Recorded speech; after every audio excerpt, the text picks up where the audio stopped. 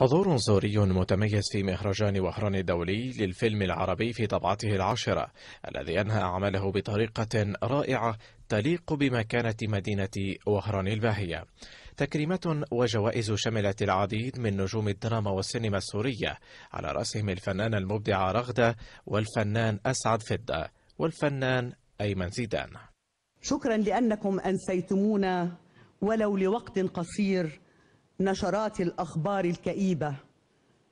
شكرا لأنكم عزلتمونا عما يؤلم القلب من تداعيات ما يحدث في عالمنا العربي. هي سوريا يختارها المنطق. لا لا يعقل أن يقام مهرجان عربي للسينما بدون سوريا. هذا البلد الذي أنتج وينتج وسينتج الأفلام الجميلة والإبداعات الراقية. 31 فيلما عربيا شارك في المسابقة الرسمية. من بينهم فيلم الأب للمخرج السوري باسل الخطيب كما لاقى فيلم الافتتاح لليتا السورية في عرضه الأول استحسانا كبيرا من قبل المشاركين.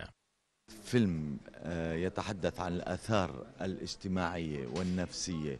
والعصبية والاقتصادية للحرب الهمجية التي تشن على سوريا. تأثيرات هذه الحرب على فئات المجتمع كافة من هاي النواحي اللي حكيت عنها. أهم ناحية أنه هذه الأطياف جميعا تعيش بود وسلام ومحبة وأخاء.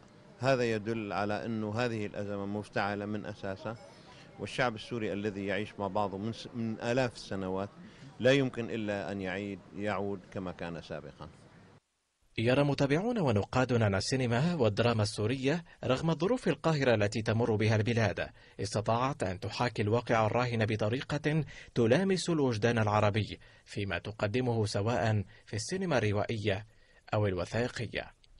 الإبداع السوري المميز الراقي جدا ما تقدمه سوريا من فن ليس فنا عاديا بل هناك رسائل وهناك هناك قوة في في الأداء والحضور. ولأنه في أزمة.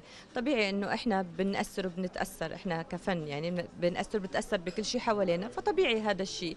لكن إن شاء الله إن شاء الله دراما سوريا حترجع أقوى مما كانت بإذن الله. رغم الظروف القاسية التي تمر بها دمشق ما تزال الأعمال الفنية السورية تفرض نفسها في جميع المحافل الفنية العربية. فمن كان أساس اتزانه في الأرض قاسيون لن تحركه رياح عابرة. أمين بورحلة الإخبارية السورية الجزائر.